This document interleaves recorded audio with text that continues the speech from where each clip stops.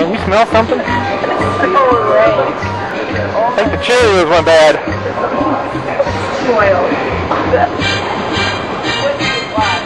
Wow. That ain't right. Smells like my girlfriend. Alright, what did you want to get here? Cinnamon Toast Crunch?